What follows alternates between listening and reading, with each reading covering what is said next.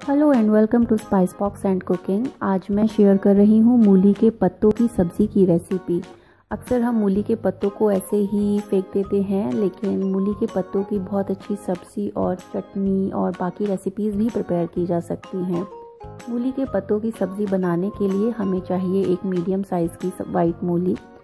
मूली के पत्ते, दो बंच इन्हें हम बारीक काट लेंगे।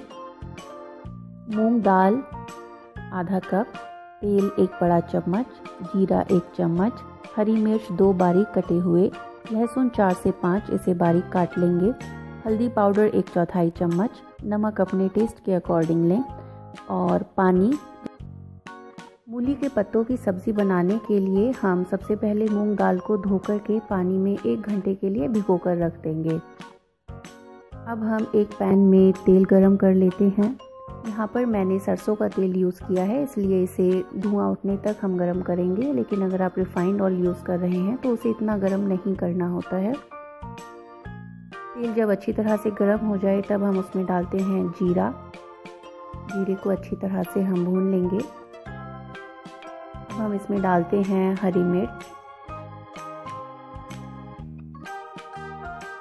और कटा हुआ लहसुन।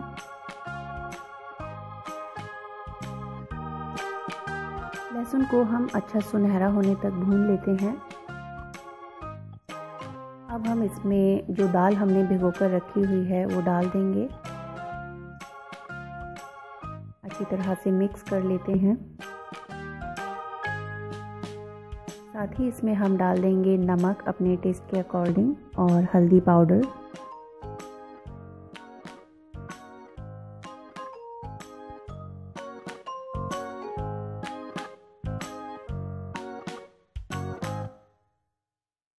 दाल को पकाने के लिए इसमें हम पानी डालेंगे। अभी मैंने इसमें थोड़ा सा पानी डाला है, लगभग दो बड़े चम्मच।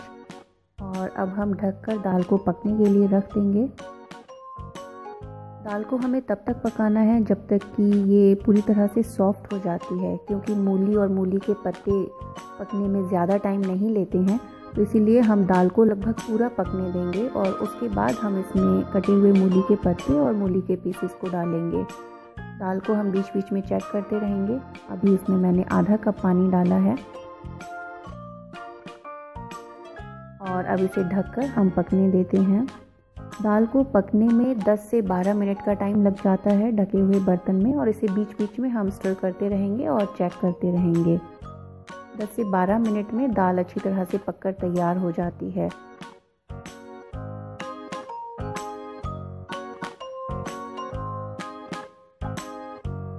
अब ये दाल पककर तैयार है।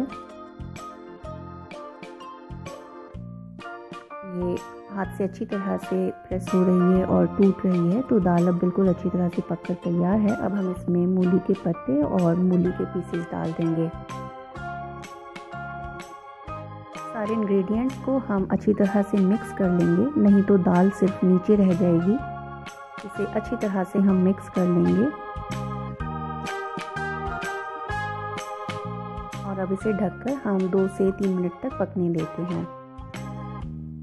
बाद में इसे चेक कर लेंगे और इसे हम तब तक पकने देंगे जब तक कि मूली के पीसेस पूरी तरह से सॉफ्ट हो जाएँ। पाँच से सात मिनट में मीडियम फ्लेम्स पर मूली और मूली के पत्ते अच्छी तरह से पककर तैयार हो जाते हैं। इसे मूली के पीसेस को आप हाथ से अच्छी तरह से प्रेस करके देख लें। अगर वो एकदम सॉफ्ट है, एकदम प्रेस हो जाता है तो मूली अच्छी तरह से पक चुकी है। और अब हमारी मूली के पत्तों की सब्ज़ी बिल्कुल तैयार है। इसे अब हम एक सर्विंग बोल में निकाल कर सर्व कर सकते हैं।